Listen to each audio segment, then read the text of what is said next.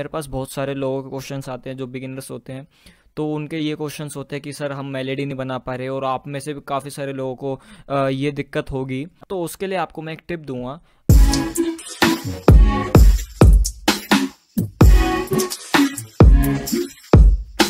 अगर आपने इस कोर्स की पहले की वीडियोस नहीं देखी हैं तो आप पहले उन्हें देखें, नहीं तो आप इस कोर्स के अंदर कंफ्यूज हो सकते हैं। तो फ्रेंड्स इस वीडियो के अंदर हम बात करते हैं मेलेडी की, कि मेलेडी क्या होती है। अगर हम मेलेडी को हिंदी में बोलते तो हम इसे बोलते हैं धुन, या फिर रिदम बोलते हैं कई बार इंग्लिश में। अगर मैं आपको टेक्निकल और सिंपल वे में बताऊँ तो ये जो है ग्रुप होता है नोट्स का, जो कंटिन्यू प्ले होता रहता है। जैसे अभी आप डिस्प्ले पे देख सकते हैं कि हमारी कोर्ट्स के ऊपर कुछ नोट्स लगे हुए हैं, ये जो हमारे मेलेडी के नोट्स हैं आइए अब हम सुन के देख लेते हैं कि हमारी मेलेडी कैसी साउंड कर रही है।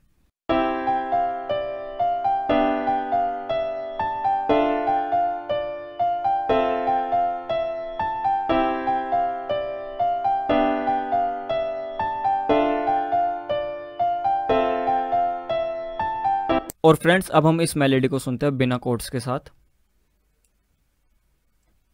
मैंने कोड्स को म्यूट कर दिया है। अब सुनते हैं इस मेलेडी को।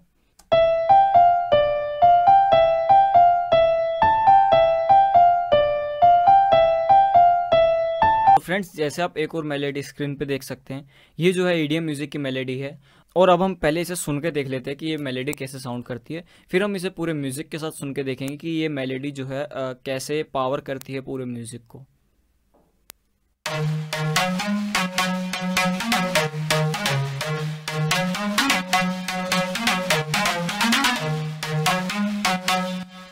तो फ्रेंड्स आपने ये मेलेडी सुन लिया। अब हम इसे पूरे म्यूज़िक के साथ चला के देखते हैं।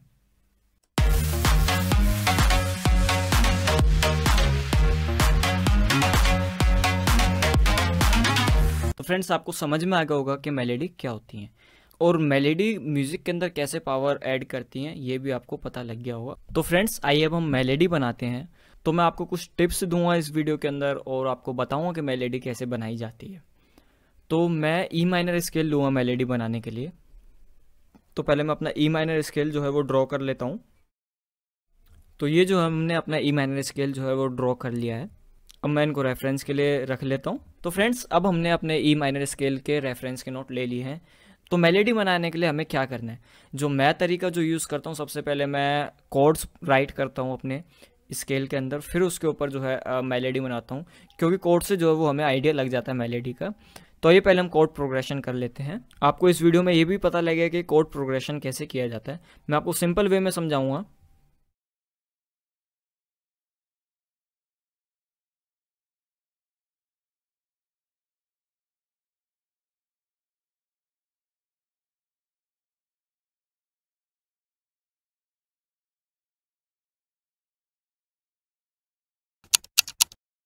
तो फ्रेंड्स, इन दो नोट्स को, जैसे एफ़ शार्प और डी को मैंने क्यों डाउन करा है, वो मैं आपको नेक्स्ट वीडियो के अंदर बताऊँगा कि इन दोनों को मैंने क्यों डाउन करा है।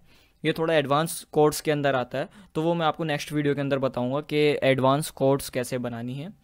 तो फ्रेंड्स, अब हमने कोड प्रोग्रेशन जो है वो बना लिया है। सिंपल बेसिक कोड प्रोग्रेशन हमने बनाया है। अब हम पहले इसे सुन लेते हैं।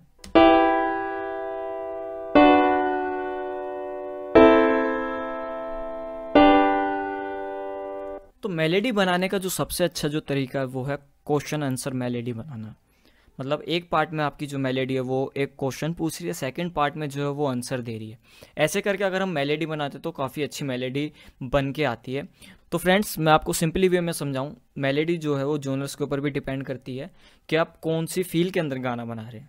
जैसे अगर आप सैड फील के अंदर गाना बना रहे हैं बट आपने हैप्पी मेलेडी डाल दी तो फिर वो सैड ही क्या रहेगा? जैसे रोमांटिक सॉन्ग है या फिर हैप्पी सॉन्ग है, या फिर अगर इलेक्ट्रॉनिक म्यूज़िक है डांस म्यूज़िक अगर आपने डांस म्यूज़िक के अंदर सैड मेलेडी डाल दी तो वो डांस म्यूज़िक किस चीज़ का रहेगा? तो फ्रेंड्स आपको ये चीज़ गौर में रखनी है जब आपको मेलेडी बनानी है कि आप बना क्या चीज़ रहे हैं और उसी के हिसाब से आपको मेलेडी जो है वो राइट करनी है अपनी। तो जैसे मैं अभी सैड मेलेडी राइट करूँगा तो अब मैं आपको बताता हूँ।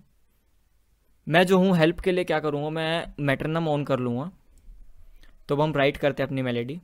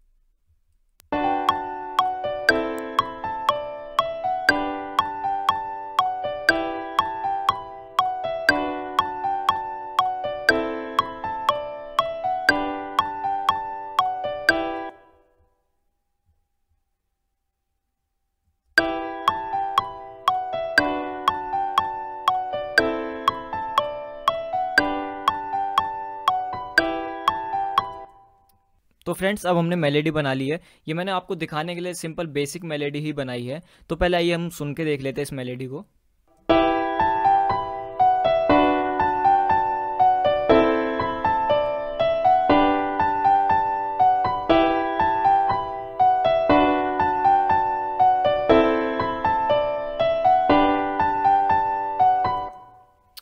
तो फ्रेंड्स, आप जैसे सुन सकते हैं, बेसिक मेलेडी है। तो फ्रेंड्स मेरे पास बहुत सारे लोगों के क्वेश्चन आते हैं जो बिगिनर्स होते हैं।